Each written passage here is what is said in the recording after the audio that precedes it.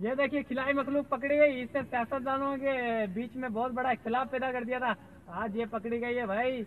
इसने इमरान खान को भी, इसने इमरान खान और नवाज़ शरीफ के बीच भी बहुत बड़ा इख्तलाफ पैदा कर दिया था। ये देखिए, आज ये पकड़ी गई। किधर भाग खिलाई मखलूक का पकड़ो।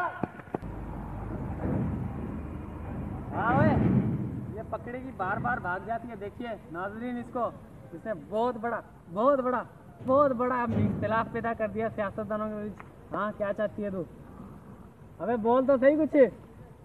बोलते भी नहीं है यार ये। गरीब है सफ़ा इमरान खान आ गया, अभी भी तब्दीली नहीं आई खिलाई मखलूक में। अरे, अब तो कुछ बोल ले। अरे, क्या चाहती है? कहाँ से आई है? सही है सफ़ा